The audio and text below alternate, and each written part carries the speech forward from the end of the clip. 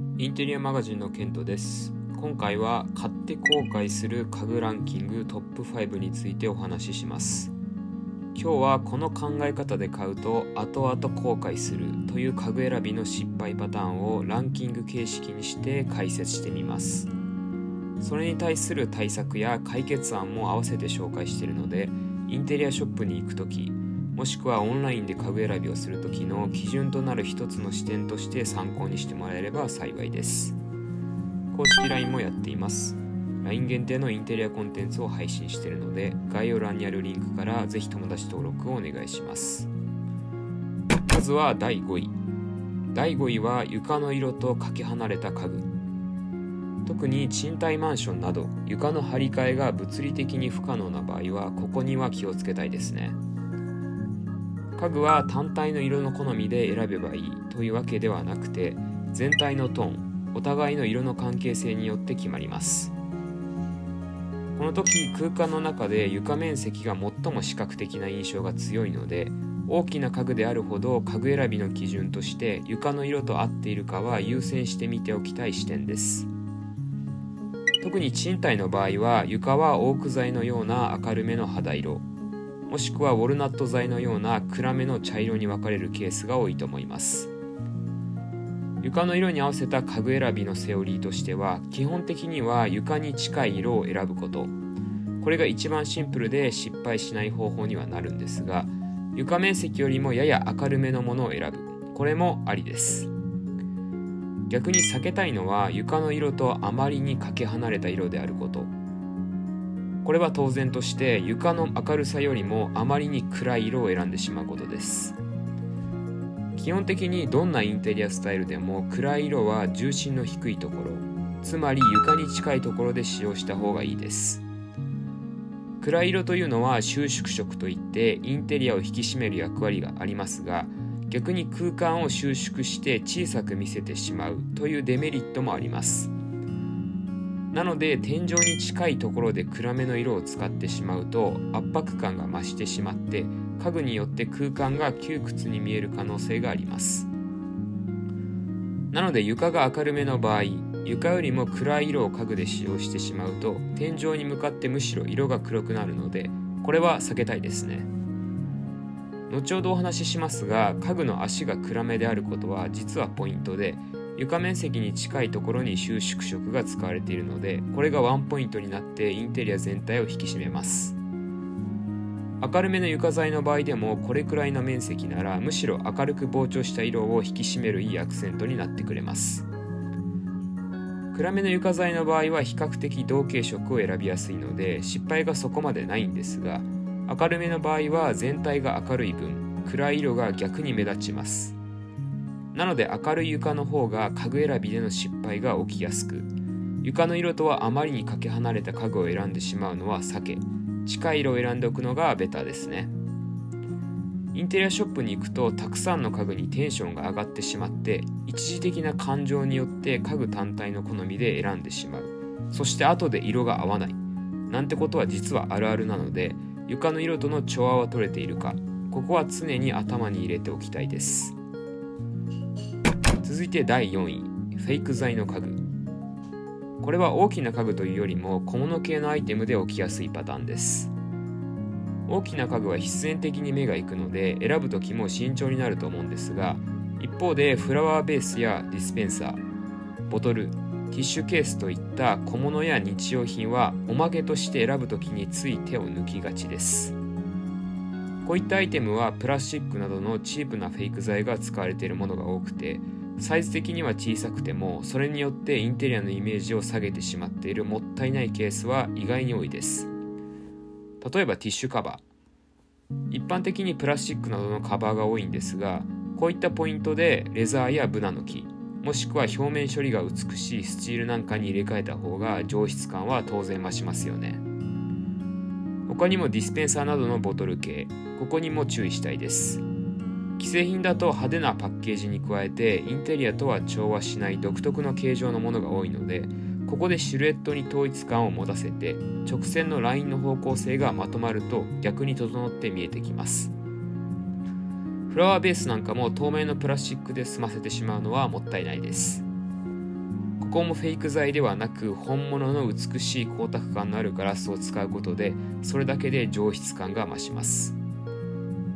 このように小さなアイテムであってもテクスチャーがフェイク材かそうではないかだけでイメージは大きく変わっていきます。小さなアイテムだからこそ価格が安くこういったフェイク材が使われがちです。できれば透明のプラスチックなどは避けて本物のガラスだったりレザー真鍮大理石など素材の表情がしっかり感じられるものに変えたいですね。しかも小物系は大きな家具に比べてそこまでお金はかからないのでなおさらコスパがいいのもポイントです。続いて第3位足のない家具。これも全ての家具を選ぶ時に常にチェックしておきたい視点です。全ての家具に足をつけておきたい理由はシンプルで床が抜けて部屋が広く見えるからです。ベッドフレームやキャビネットなど特に大きな家具の場合それがそのまま床にどしっと置かれていると当然ですが目に見える床面積が減ってしまいます。床の広さが空間のゆとりにそのままつながってしまうのでそんな時には家具に足がついているかはとても大事な視点です。この時にさらに選び方のポイントとして足は細いこと暗めの色であることさらにそれぞれの家具の足の色が統一されていることこれらが当てはまるとインテリアの演出としてプラスの効果が増えます。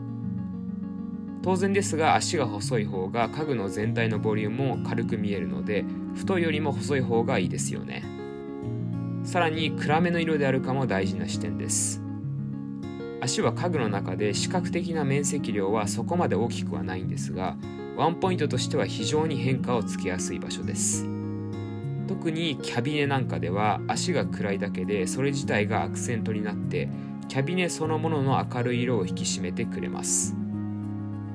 そしてさらに言うとそれぞれの家具の足に関してはできるだけ近い色で統一されている方が理想です。大きな家具であればあるほどそれぞれサイズや形状使われている素材は違うので統一感を持たせることは大変だと思うんですが足は大抵の家具で共通するポイントでこういった小さな場所だけでも色の統一にこだわることで家具が集まった時の見え方は本当に変わります。家具の足は床を中心とした空間のゆとりを作るだけではなく家具そのもののアクセントにもなるし他の家具との統一感も出せる。小さいんだけど費用対効果の高いポイントになるので家具選びをするときは常にここは注意して見ておきたいです。続いて第2位。デザインが機能よりも優先された家具。まず前提としてデザインを優先すべき家具とそうではない家具があります。例えばフロアライトやキャビネの上に置く小物など。こういったものはインテリアをより良くするための演出として重要で基本的に置いておくだけで成立します。24時間の生活の中で触れる時間が少なくて眺めていればいいだけのアイテムは当然デザイン優先で問題はないです。一方でダイニングチェアやテーブルなど24時間の生活の中で触れる時間が多いものは基本的にはデザインを加味した上でも機能を最終的に優先すべきだと思います。僕の経験上どんなに素晴らしくお気に入りのデザインでも使いにくいものは最終的に使わなくなってただのオブジェと化してしまいます。家具というのは基本的に使い捨てではなく長く付き合っていくものなので最終的にデザインの効果や魅力は慣れていって薄れていって機能面に優先順位が変わってきます。なので本来機能を優先すべきなのにパッと見のデザインだけで家具を選んでしまうと当然後で後悔する可能性は高いです。機能を優先すべき家具の筆頭としてはダイニングチェアテーブル作業のための書斎用の椅子やオフィスチェア収納などです。逆にデザインを優先していい家具は間接照明ラウンジチェア小物などのアクセントアイテムが挙げられます。両者の線引きは24時間の中で長く使われるか体との接触が多いかと眺めているだけで成立するかこの違いになります。最後第1位ビビッドな色の家具。これはインテリアスタイルによってケースバイケースですが一般的にラウンジチェアダイニングチェアソファーなど大きな家具であればあるほど生地にビビッドな色が使われているとインテリア全体としてそして他の家具とも合わせにくくなるし後々崩壊する可能性も高くなります。当然それぞれ目指したいインテリアスタイルはあると思うのでお気に入りの色を部屋に取り入れたいと思います。だからといって好きな家具に好きな色を取り入れればいいというわけではありません。一般的なセオリーとしては大きな家具ほどベージュやカーキなどのアースカラーで主張を抑えて小さな家具例えばクッションアートでビビッドなカラーを取り入れることで好きな色をインテリアの中で強調するというのが賢い色の使い方です。大きな家具の色選びは捨てろと言ってるのではなくてビビッドなカラーというのは周りに控えめなものがあるからこそより際立って見えます。この時に大きな家具にあまりに大々的に明るい色が使われているとインテリア全体の中で主張の強い色と主張の弱い色のバランスが崩れてまとまりがなくなっていきます。例えばソファー選びを考えるのであれば明るいネイビーのようなブルーをインテリアの主役にしたい時ソファーでネイビーを選ぶのではなくここではグレーなどのアースカラーを選んでその上に置くクッションでネイビーを取り入れることで複数同士の家具の関係性によってビビッドなカラーを引き立てるという考え方の方が失敗が少なくなります。このように家具選びの中で色というのは単体で完結するのではなくて他との家具との色の関係性の中で選んだ方がむしろ主張した色が強まって効果的に見えます。さらに大きな家具にビビッドな色を取り入れた場合その色に飽きた場合の後処理に困る。といったデメリットも発生しますよね。人の好みは意外に簡単に移り変わるし季節によって変化をつけたい。ということもあると思うので模様替えが簡単にできるかは大事です。その点小さなクッションカバーや花瓶などはサイズ的に入れ替えは簡単で色を調整しやすい。というメリットもあります。もしすでにビビッドな家具が家にある。という場合の活かし方も3つ紹介しておきます。1つ目床が濃いウォルナットの場合。これは条件付きですが逆に椅子1つくらいならむしろこのビビッドな色がアクセントとして引き立つと思います。床面積に対して椅子1つはそこまで大きなサイズではないので十分いいアクセントになる可能性もあります。例えばライフスタイルホテルなんかはまさにソファやラウンジチェアのビビッドな配色を床や収納の濃い色が引き立てていますよね。2つ目アースカラーのブランケットをかける。これは先ほどの考えを逆に応用したもので家具一つの中でビビッドに見える面積量をブランケットによって調整していきます。演出としてグレーやベージュなどのアースカラーのブランケットを背もたれにかけてあげることでビビッドなカラーの面積量を減らして主張の強さを意図的に弱める方法です。これは単純ですが手っ取り早く今の家具を何とかしたいという人にはおすすめの方法です。最後3つ目。家具の横に観葉植物を置く。観葉植物のグリーンというのはとにかく便利でどんな素材や色でも合わせるものを引き立ててくれるという効果があります。濃いウォルナットに対するグリーンもそうだしコンクリートに対するグリーンもそうです。これと同じくビビッドな家具の横に特に濃いめのグリーンを置くとコントラストによってむしろビビッドがいい塩梅で引き立つようになります。先ほど紹介したライフスタイルホテルにもこれと全く同じ表が使われていて家具の横に意図的にグリーンを置いていますよね。オルナットの床ほどではないですが観葉植物の幹の濃い茶色もビビッドな色を引き立てるのに貢献しています。はい以上が買って後悔する家具ランキングトップ5でした。インテリアショップに行く時オンラインで家具選びをする時の参考になれば幸いです。今日の話は以上になります。このチャンネルでは憧れの暮らしを自宅で再現するインテリアのコツを毎週配信しているので、ぜひチャンネル登録といいねもお願いします。